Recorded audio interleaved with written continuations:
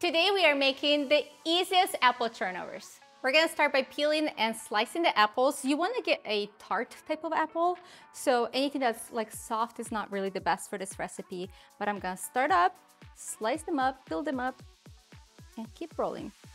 And I just like to slice them into cuts.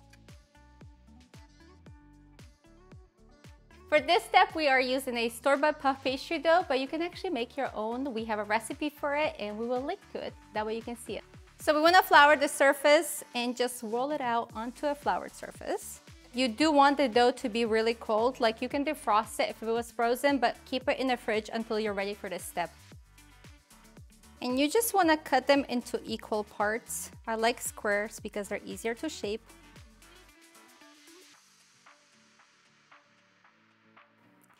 We're gonna whisk up this egg and we'll use it for brushing the edges and the top. So we'll need this all ready to go.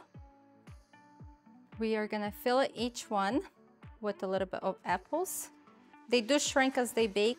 Do a sprinkle of sugar and this is when you can decide how much sugar you want. And then also, if you like a cinnamon, do a sprinkle of that. To make sure that the edges stay together, you wanna brush the edges like this with an egg wash and then we're gonna pinch them together. So pull it together and then pull them together again. They look kind of funny, but as they bake, they do look better, trust me. We're gonna brush the tops with a little more egg wash. Do a generous amount of sprinkles of sugar.